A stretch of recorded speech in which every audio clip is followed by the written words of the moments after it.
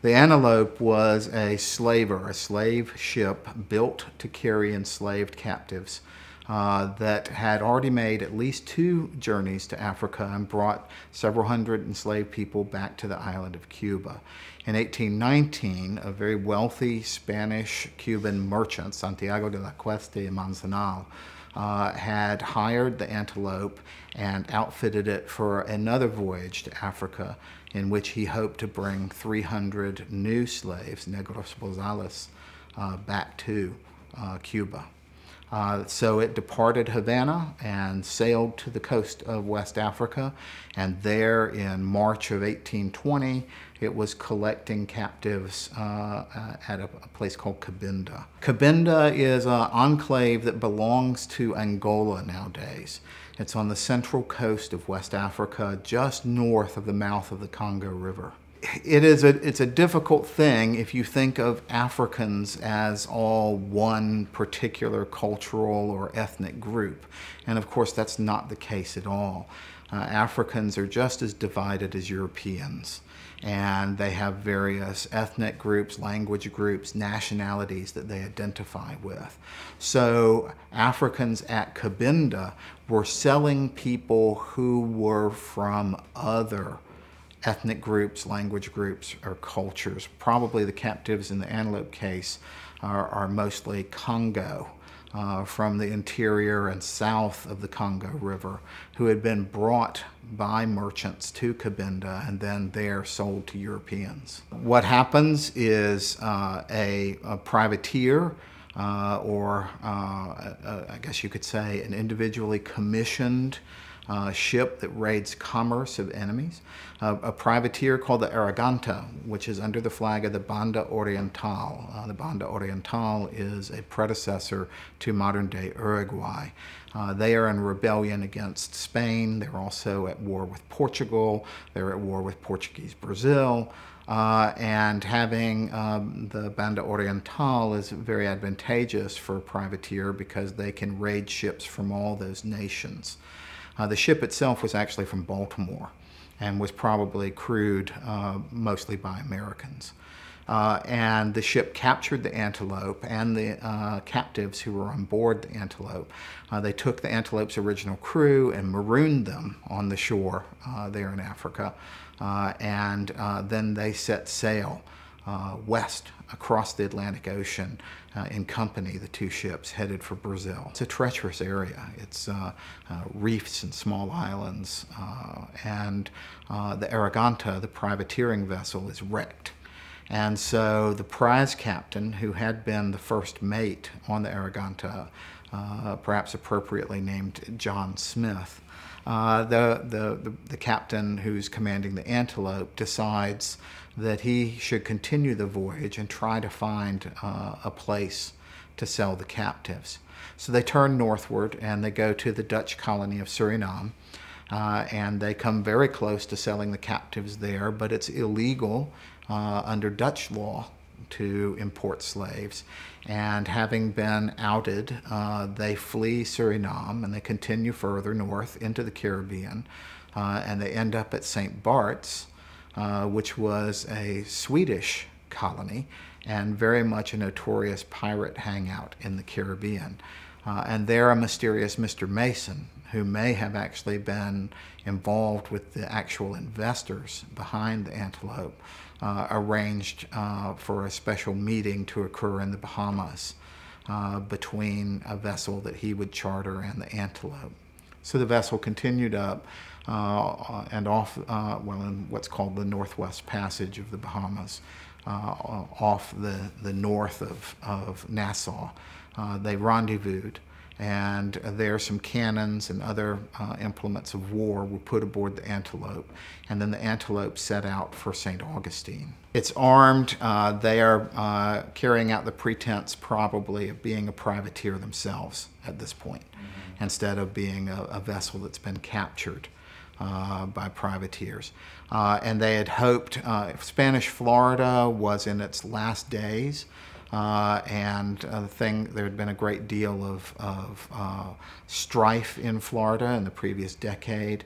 There had been substantial slave trading that had gone on at Amelia Island, where Fernandina Beach, Florida is today. So I think that John Smith hoped to be able to sell his captives there, but he made a terrible error.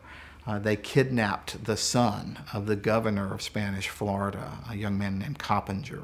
And when they arrived at St. Augustine, uh, John Smith tried to use holding this captive hostage uh, as a way to force the governor to allow them to land the captives from the Antelope. It didn't work. The governor said he would not negotiate with pirates and kidnappers, that they could hang his son if they wanted to. Uh, Smith was uh, not so willing to be violent to a young white man, although he was very violent toward the captives. Uh, so he released the son, and then they turned north. They're low on water, they're low on food. Uh, most of the food that they're feeding the captives is rice, so you need water to make the rice, and seawater is not going to uh, help in that situation. Uh, they're getting into a desperate state. Uh, and then it is at that point when they've turned north uh, that the revenue service cutter uh, spots them and chases them down. Probably there were 331 captives who left Africa. Uh, when they were captured uh, by the revenue cutter, there were either 280 or 281 still alive. By the time the ship actually arrived here in Savannah, uh, there were 258 surviving captives. So that's uh, about a 22% death rate among these captives. Uh, those who have survived are sick, uh, many can't walk. Uh, the United States Marshal here is supposed to take control of the captives, and he had arranged for them to stay at the local horse racing track, which was about a two mile walk from the wharf where they came in. Uh, and uh, the captives were not capable of walking. So he had to hire wagons, and the captives came off of the antelope, uh, and he recorded uh, them and put them in general age categories. And it turned out that the average age is less than 14, that 42% of the captives are 10 or younger. Uh, there's even infants uh, among the captives.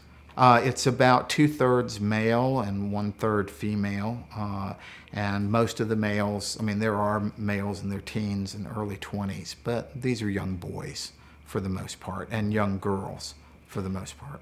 So they're imprisoned in the uh, stables, the horse stalls at the racetrack and um, it, it is a hot summer. It is a rainy summer. Uh, throughout the month of July and into August, it rains almost every day, and a yellow fever epidemic begins in Savannah. Uh, whether from yellow fever or from the uh, effects of their voyage, uh, the captives continue to die in very large numbers. The captives uh, were then taken to uh, the Savannah horse racing track where they were imprisoned in the stables that would have normally been used for horses there. Um, and it was a hot summer, it was a rainy summer. Uh, July and August, it rained virtually every day heavily. Uh, the captives were mostly children, uh, they were naked, uh, they had been shaven of all their hair. Uh, they had finally blankets given to them, but I just have this image of these naked children wrapped in blankets walking around this muddy uh, uh field that was the racetrack. Uh, and then uh, Savannah itself uh, began suffering a yellow fever epidemic. Whether from yellow fever or from problems brought with them aboard the ship, the captives continued dying uh, so that another 20% or so of these captives uh, died during the month that they were at the, the racetrack. Uh, the U.S. Marshal, a guy named John H. Morel, uh, was in charge uh, of these captives, and he decided that they had to be moved. And his solution was to distribute them to wealthy families here in town and to give 51 of the healthiest males to the city uh, to work on public projects. They're doing the work of slaves and horrifically doing it in the midst of a growing yellow fever epidemic. There's been no judicial determination as to their status, uh, and uh, as we will find out later, um, uh, they should be under U.S. law free, according to the U.S. Attorney here in Savannah. The Spanish, Cuesta Manzanal uh, and Company, uh, or and brother, the Spanish firm that had paid for the Antelope's voyage, the very quickly finds out about the ship arriving with the captives on board and that it is their ship. And so they send representatives, and through their vice consul here in Savannah, uh, they file a claim in admiralty to have the captives returned to them as their property. Uh, because uh, a number of the captives were said to have been taken from Portuguese vessels, the Portuguese vice consul also filed a claim uh, for the captives.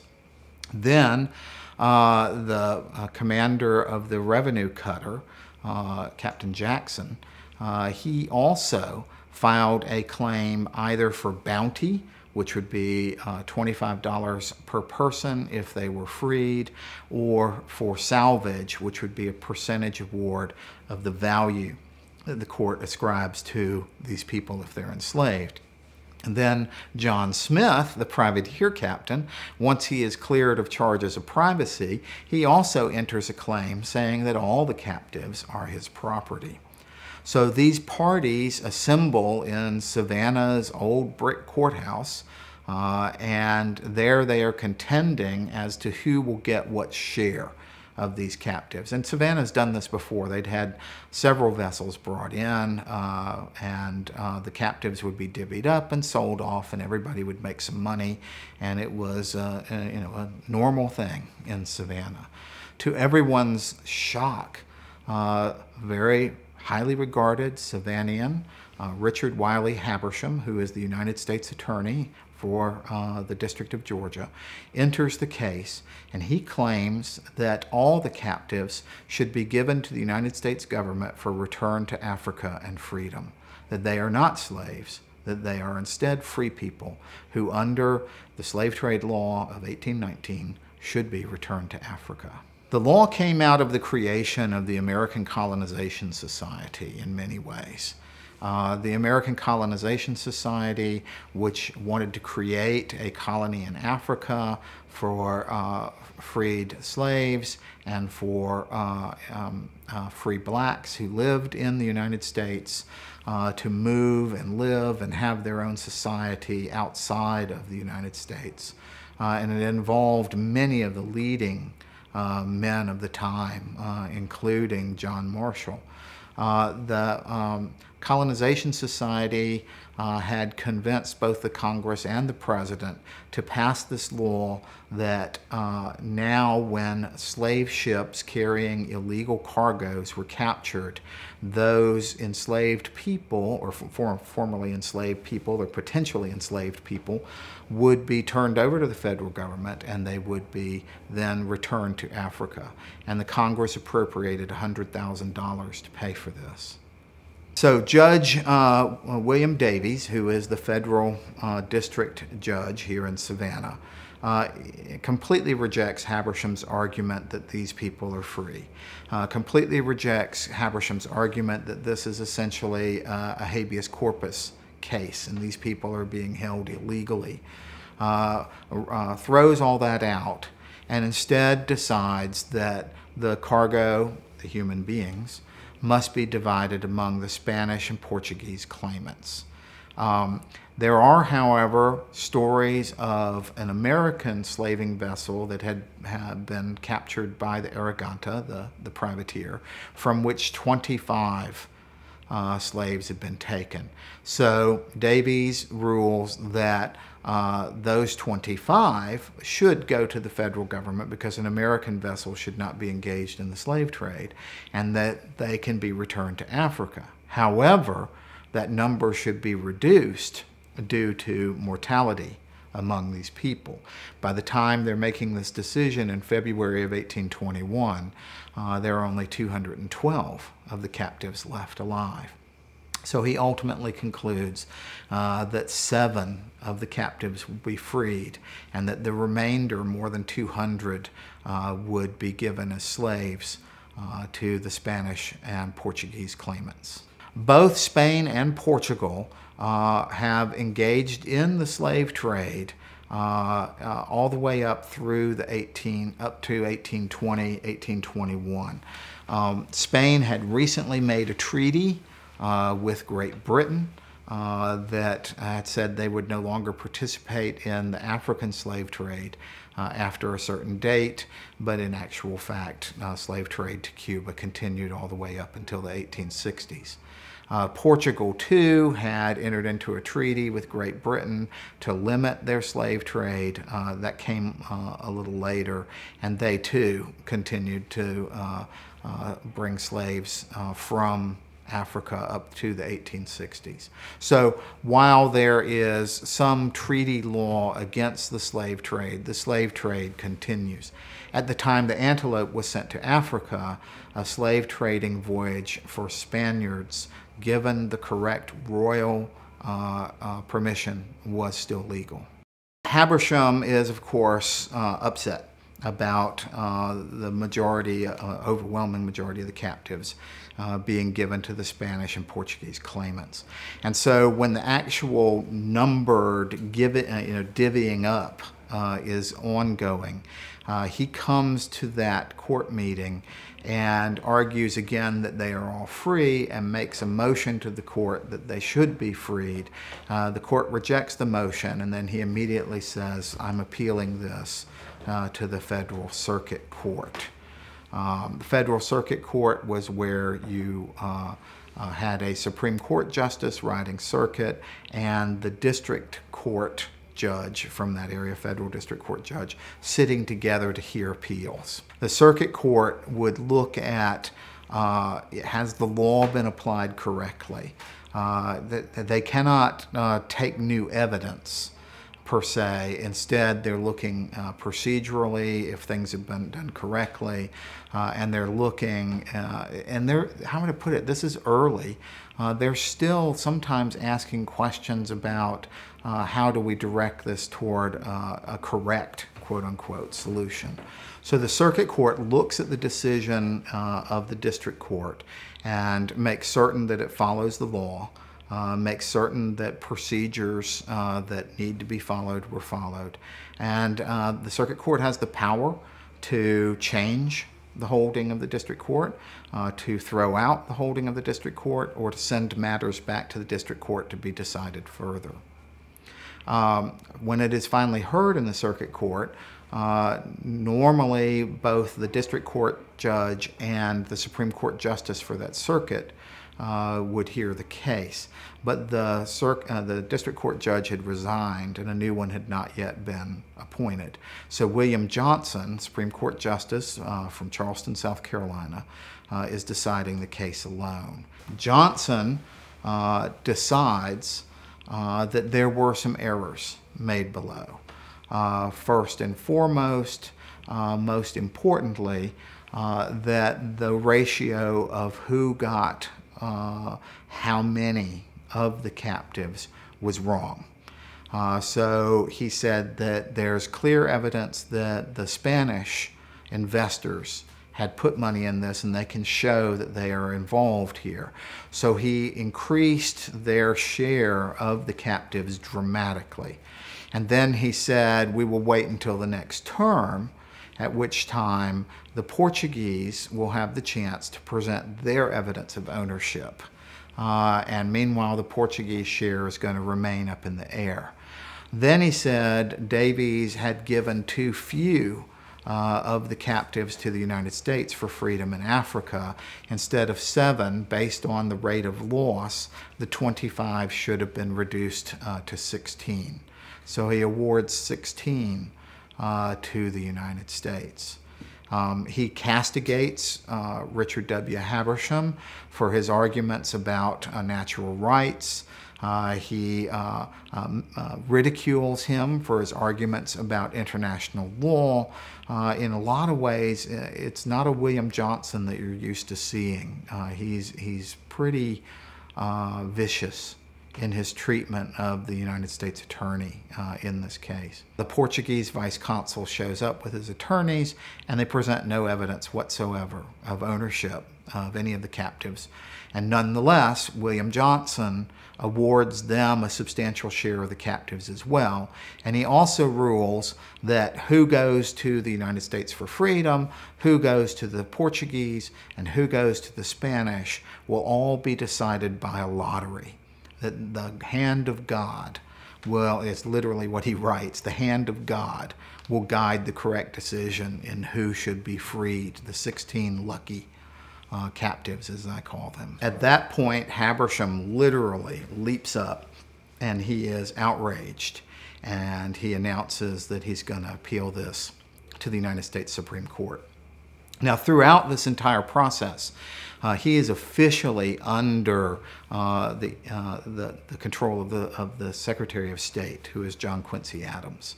And he has written Adams repeatedly, reporting on the case. And Adams has never given him any guidance. And so he writes Adams to tell him about uh, the uh, appeal to the Supreme Court. And in essence, uh, subtly criticizes Adams for giving him no guidance in this. And then he copies the letter along with copies of his arguments and other arguments in this case uh, to William Wirt, the Attorney General of the United States, suggesting to me that he didn't even trust Adams to communicate this information to the Attorney General.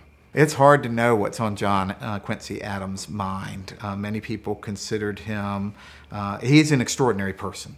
He's spent most of his career as a diplomat. Uh, he's fluent in three languages. He's competent in several languages more. There's probably no one in the United States who is as familiar with foreign affairs as John Quincy Adams. But John Quincy Adams wants desperately to be president. And having just gone through the Missouri controversy and seeing that the United States could come apart on this issue of slavery, uh, I think John Quincy Adams is doing his best to prevent this case from coming into the public eye. The Antelope case raises questions of natural law and natural rights versus questions of enslaving people and property. And he does not want that uh, dispute poisoning what he hopes will be a successful presidential campaign in 1824. I'm convinced that Francis Scott Key, who was one of the leading appellate attorneys uh, in Washington, D.C. at that time and a member of the American Colonization Society, uh, prevented this case from being buried in the Supreme Court's document, do docket and never being heard. Uh, so uh, Key uh, is now recruited by William Wirt to argue the United States case that these captives are free and should be returned to Africa uh, a newly elected United States Senator and former uh, judge here in Savannah who has been involved in this case from the beginning, John McPherson Berrien, uh, is going to represent the Spanish claimants.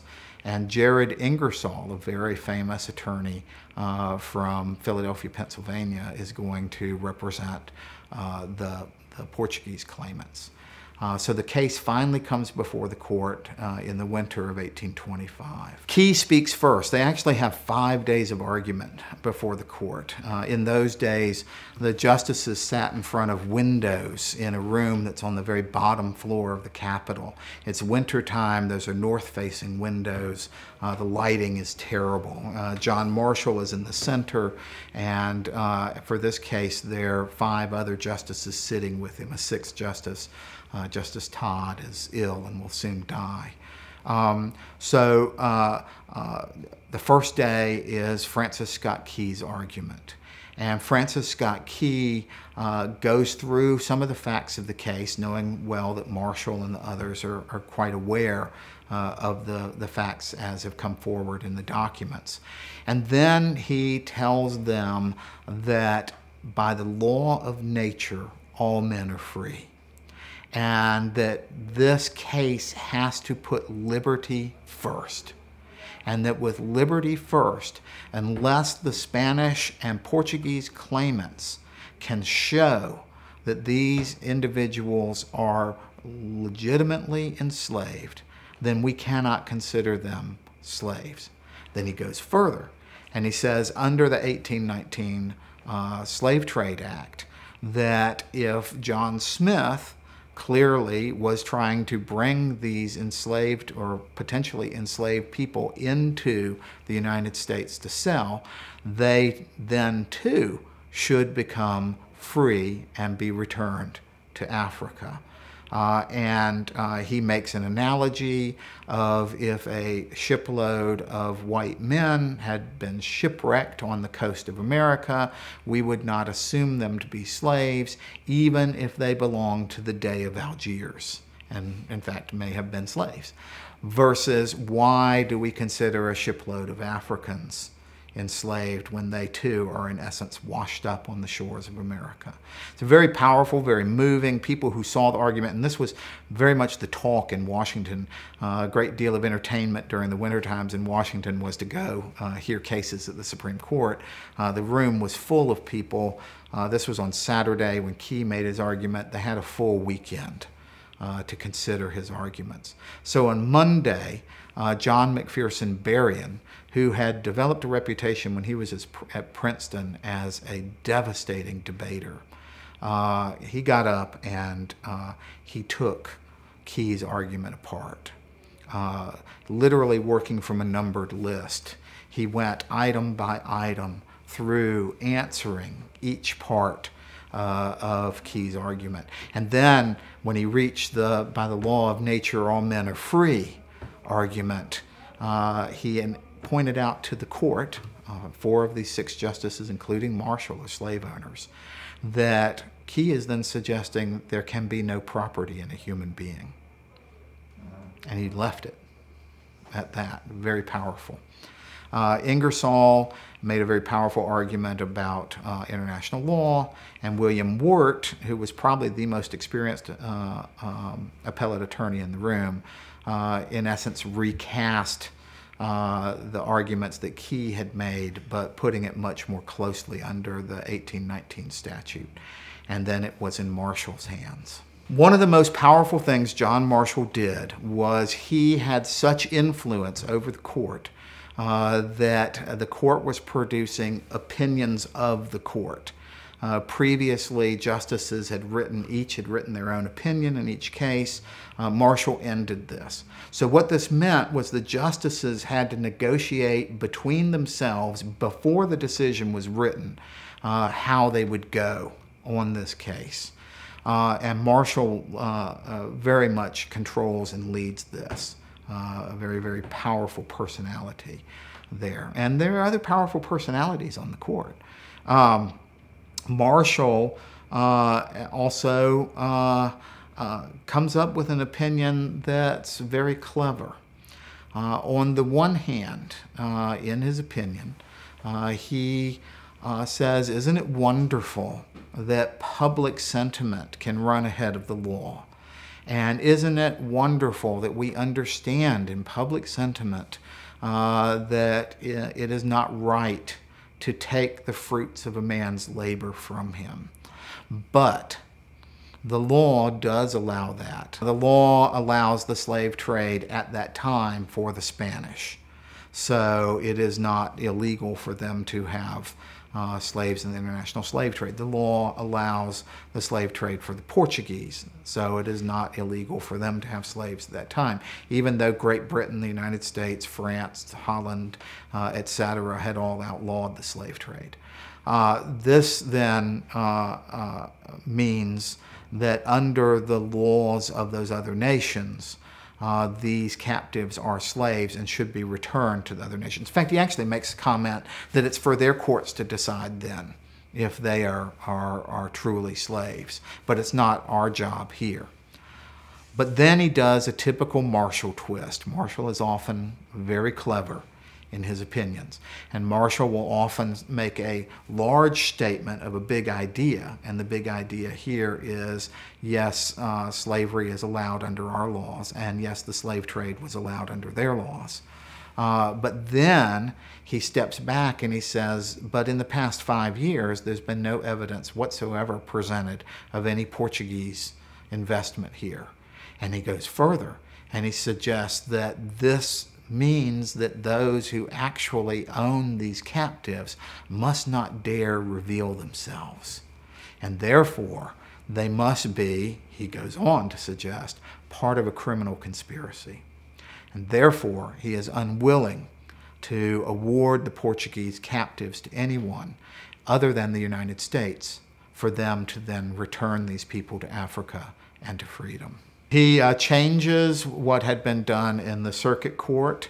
Uh, he reduces, he takes some of the testimony that had come from John Smith, the captain of, the Antelope when it was captured, uh, who had said there were 93 uh, people aboard. Uh, and then taking that number, he reduces it by the losses to this time.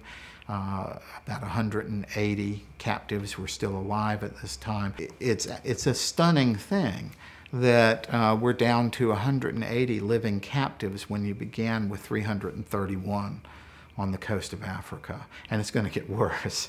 Uh, so uh, uh, Marshall reduces the award proportionally uh, to the Spanish. Uh, and that means that ultimately the Spanish are going to be given 39 captives. The rest of the captives, which would presumably have been uh, Portuguese claimants' captives, instead now go to the United States and they are to be returned to Africa and then to freedom. Uh, he evidently has not thought through that where they're to be returned to in Africa is Liberia.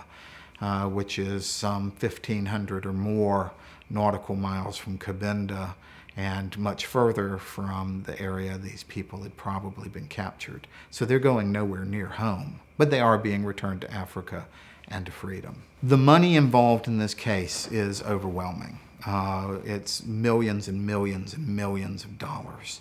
And people don't give up easily when there are such numbers involved. Uh, so actually, the antelope comes back to the Supreme Court two more times.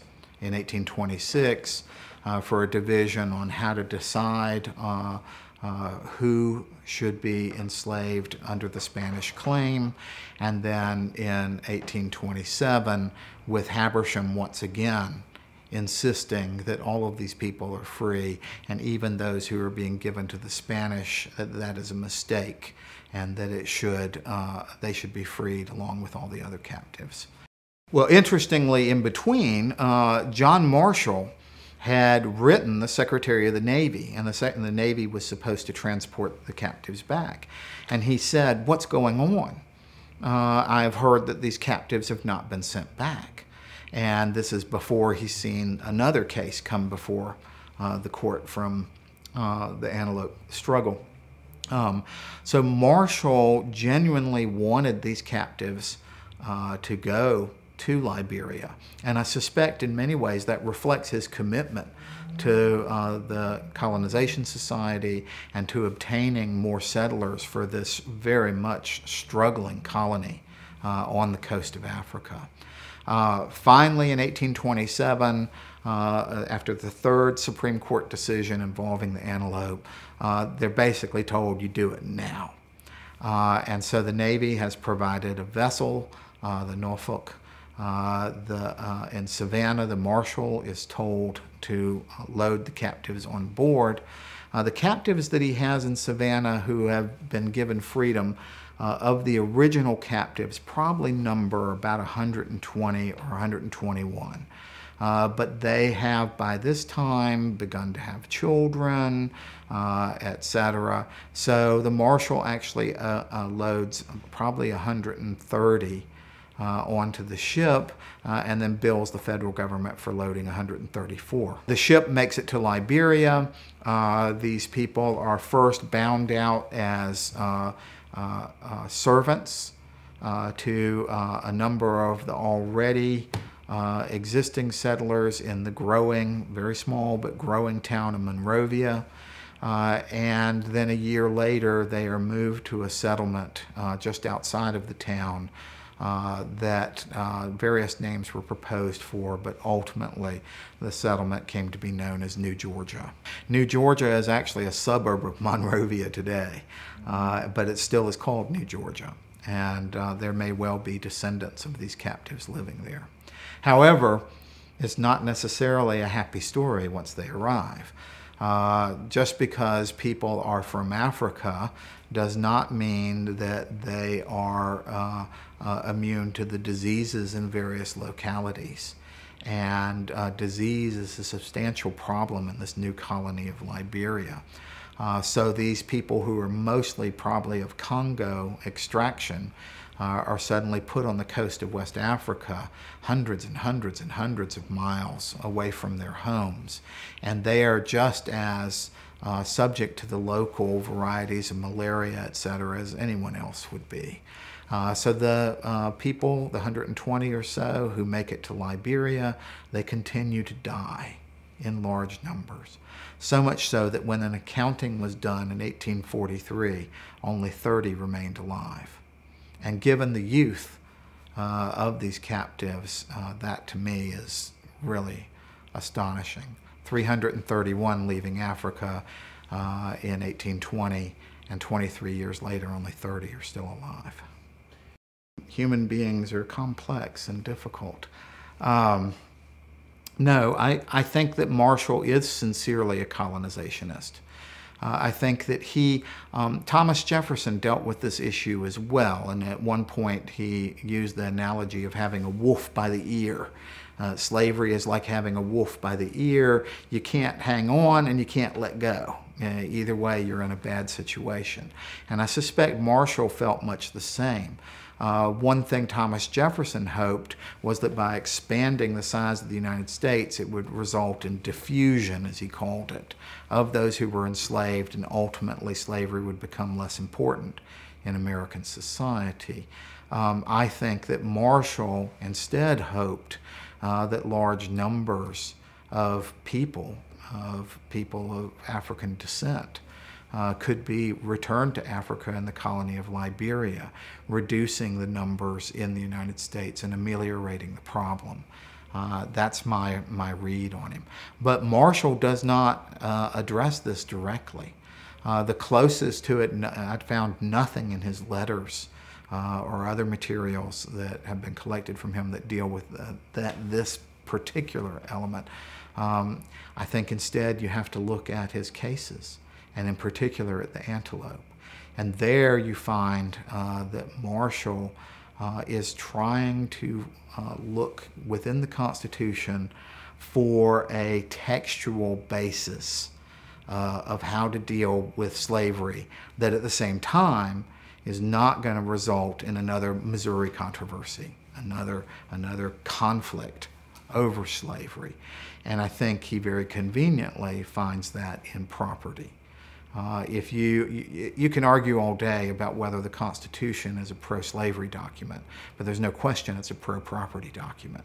So looking at it as a controlling text, I think Marshall is going to focus on uh, property is the key here, and that by talking about slavery in terms of property, uh, we can uh, uh, control the conflict over this institution. Marshall is trying to find in the text of the Constitution uh, support for these decisions that he's making. Uh, one of his brilliant uh, conceptions was to look at the Constitution as a statutory document in many ways, as, as written law uh, rather than a collection of ideals and hopes and dreams. Uh, and that being the case, he wants to find in there uh, something that allows him to support the institution of slavery uh, in a, a way that uh, reduces the conflict over this institution. Um, now, you look at the Constitution and you can argue all day about whether it is a pro slavery document, but the Constitution is clearly a pro property document. So, Marshall, by using property, is able to say clearly the Constitution supports slavery because enslaved people are property.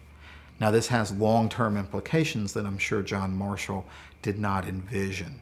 Uh, it allows uh, slave owners to say if this is property, we should be allowed to take our property anywhere So something like the, the, the, the, splitting up of slave and free that occurs in the Missouri controversy will ultimately, under that reasoning, be found unconstitutional in the Dred Scott case. Uh, but Marshall is looking for that textual linchpin uh, to work out this problem of slavery, and he finds it in property.